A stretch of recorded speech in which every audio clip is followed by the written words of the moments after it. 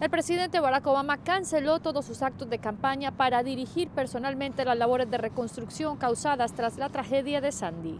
Algunos aseguran que si bien este no es un acto de campaña, su desempeño al frente de las operaciones para enfrentar la tragedia va a incidir en el resultado final de la contienda electoral, pues lo que algunos llaman la sorpresa de octubre, que tradicionalmente aparece al final de la carrera presidencial, apareció esta vez con el nombre de Sandy.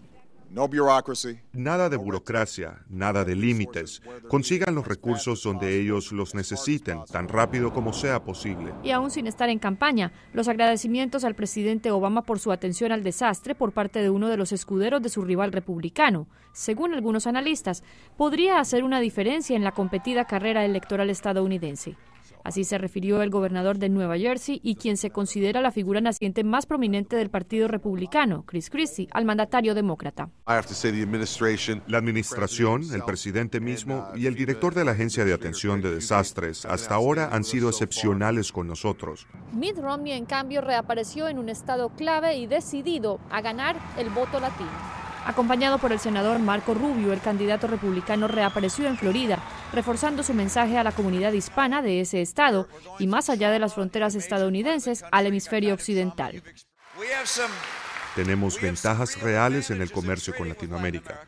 Muchos de nuestros ciudadanos tienen raíces allí. Hablan la lengua española en muchas regiones de nuestra nación y ustedes saben, la economía latinoamericana es casi tan grande como la de China. Hay una gran y creciente clase media. Esta es una gran oportunidad para nosotros. A solo seis días de la contienda electoral, Mitt Romney aparece rodeado de sus principales escuderos. Y estamos a seis días de elegir a Mitt Romney como el próximo presidente de Estados Unidos. Las encuestas muestran aún una muy reñida carrera presidencial. Algunos incluso comienzan a hacer cálculos sobre lo que ocurriría si hubiera un empate entre los colegios electorales que cada candidato obtenga. Sin embargo, en estados clave como Ohio, una pequeña diferencia comienza a observarse.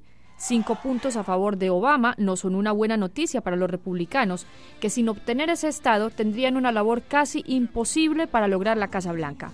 Lina Correa, para La Voz de América.